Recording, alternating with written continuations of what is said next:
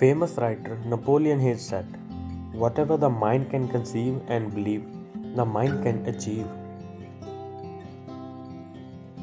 And that's true in all senses, because the ability to imagine things pervades our entire existence.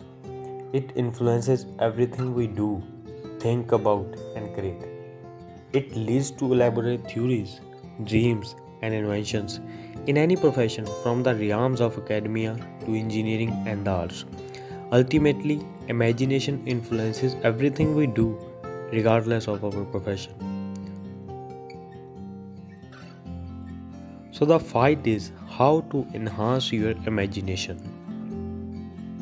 Step number one Start with the end in mind. As a leader, you firstly need to know your goal and have a vision of what you want to achieve.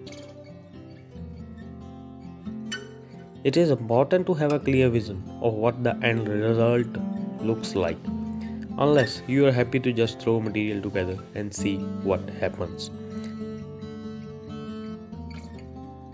Step number 2 Engage the imagination of others. It is much easier to discourage than to encourage people's imagination, especially if it is not part of the work culture. Sometimes it might take some courage to go against a restrictive way of thinking. As someone once said to me recently, I'd rather have my idea shot down than not say anything and a lesser idea to be put forward. Step number 3 Practice mindfulness.